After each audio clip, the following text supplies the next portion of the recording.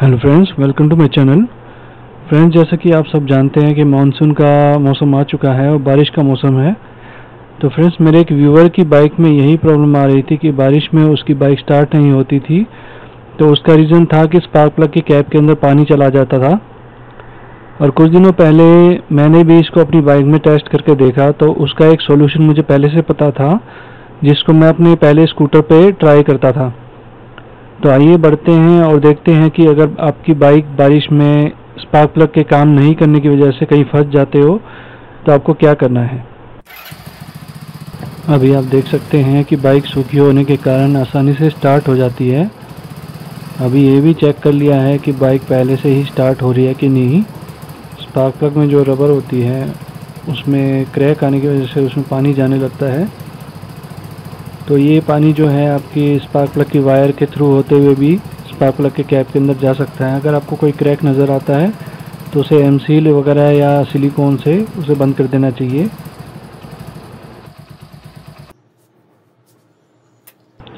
मेरी बाइक की spark plug की कैप ड्राई है। अब मैं इसे शॉर्ट करने के लिए पानी डाल देता हूँ, जैसा बारिश के पानी जाने से होता है।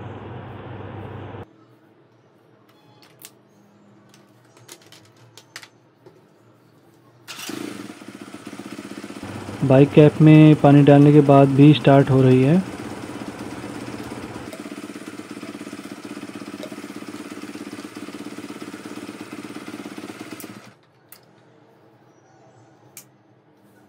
चलो स्पार्क प्लग के ऊपर भी पानी डाल दिया जाए।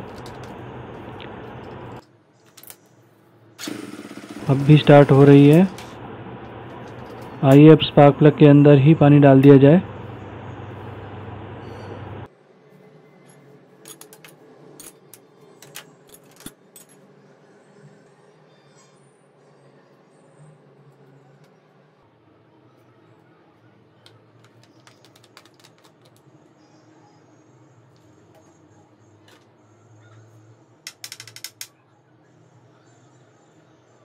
इसमें पानी डालकर स्पार्क प्लग को वापस लगा दिया गया है।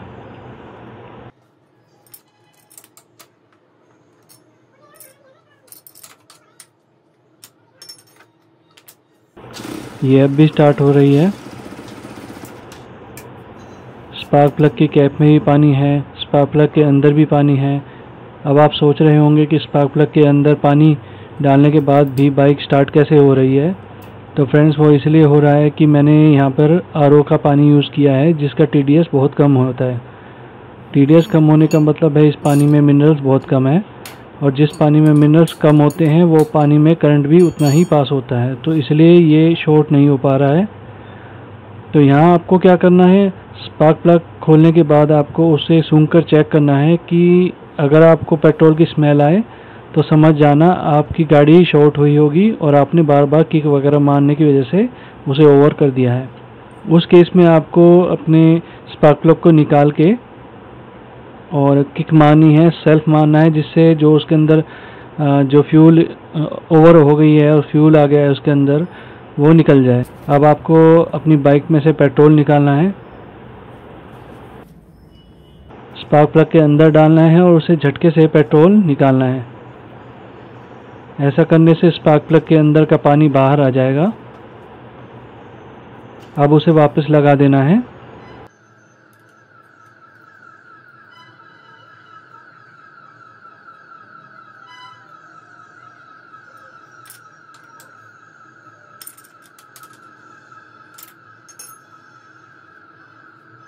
ऐसा ही स्पार्क प्लग की कैप के अंदर पेट्रोल डालना है और झटका मार के पानी बाहर निकाल देना है।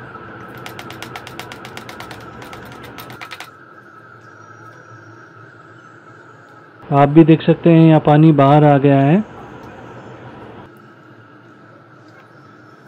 स्पार्क प्लग के ऊपर भी पेट्रोल डाल देना है। अब ये ध्यान रखना है कि बाइक ऑफ़ ज़रूर हो। अब उसको सूखने का इंतज़ार करना है। जब पेट्रोल उड़ जाए और गाड़ी सूखी सूखी नज़र आए तो उसके बाद आपको स्पार्क प्लग की कैप को वापस लगा देना है। तो फ्रेंड्स जैसा कि आपने देखा कि ऐसी कंडीशन में आपको क्या करना है अगर थोड़ा बहुत स्पार्क दिख भी रहा है तो आपको उस कंडीशन में भी एक बार ये प्रोसेस ज़रूर फॉलो करना चाहिए। तो फ्रेंड्स उसके बाद आपको अपनी बाइक का थ्रोटल पूरा घुमा के सेल्फ या किक मारनी है।